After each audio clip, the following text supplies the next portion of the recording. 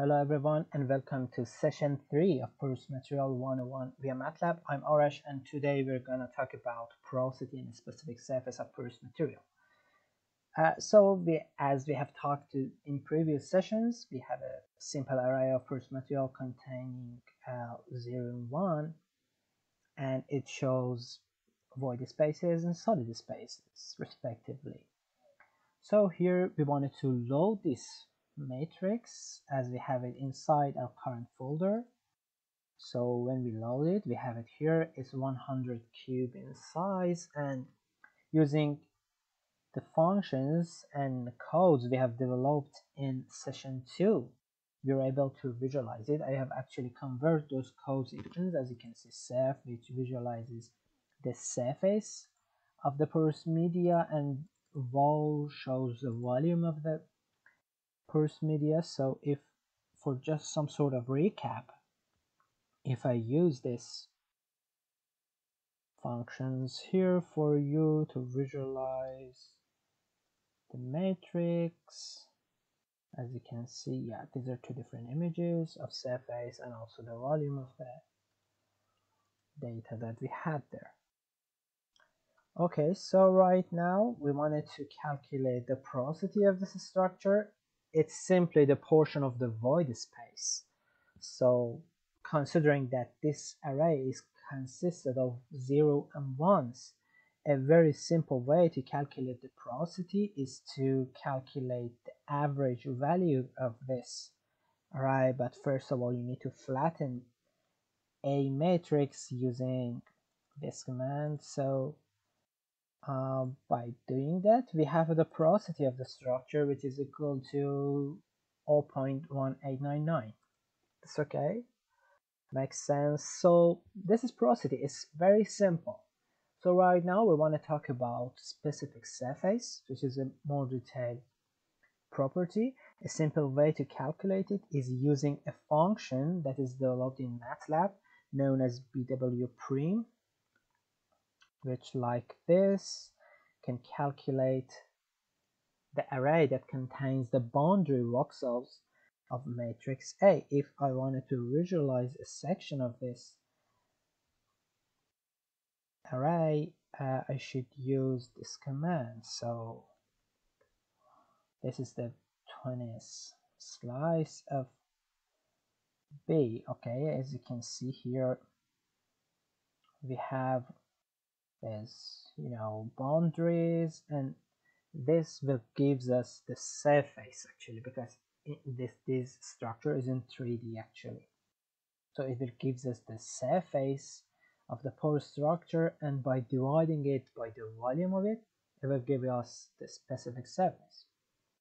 This is a very simple but not very accurate to do so. So in order to calculate the specific uh, surface you can simply calculate the summation of this array B divided by summation of the solid space. Okay. Yeah here this value it shows us the specific surface of this structure. And also you may be able to calculate the specific surface of the porous space in order to do that. You just need to simply invert this value. So it will divide the surface by the volume of the porous space. So these are different specific surface values but as you know this is not very accurate and now I wanted to show you why.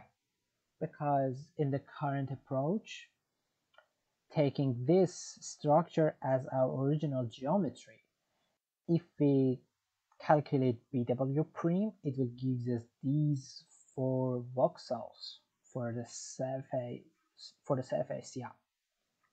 And summation of these four squares it would be four but we know that the you know surface area or perimeter of this structure is actually 8 it's not 4 so it's somehow underestimating the specific surface and also the surface area of the pore or grain space. So in order to solve that problem, we are gonna use an structuring elements to dilate the geometry into this structure. Okay, and when we convert it into this structure, we can simply count the number of these yellow boxes, which is equal to 8 again this the second approach is not still the exact answer to specific surface problem but it's very much better than using simply bwperim. So in order to do that we just need to make this a structuring element but in 3D here I have sh shown it in 2D but in 3D it has an extra box here and also in the back. So yeah so I have need to do some cheats here. Okay this was our first approach which I will comment out.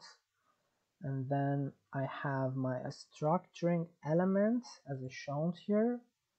So this is a 3 by 3 by 3 matrix of zeros but there are some uh, 1 values at the center and in the up down left right and bottom and front of the structure. So using this structuring element and using this command of MATLAB which is known as imdilate it's able to dilate any structure. So we use a ANSE in this command and we put the output inside matrix B. Okay? And when we do this okay let's let's compare these two. Arrays if I wanted to show you using this previously written functions.